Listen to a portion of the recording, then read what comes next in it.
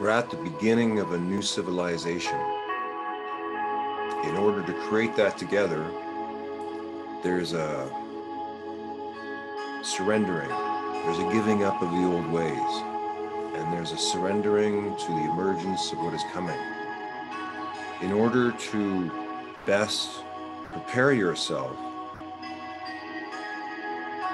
you, have to learn to become silent and to spend time alone and to work on your own ability to still yourself, to truly attain a silence of mind.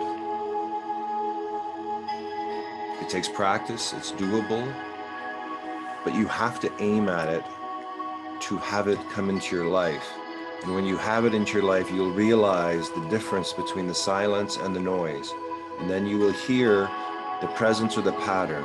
You will hear if someone is there with you with conscious awareness or they are just there in their own world somewhere else.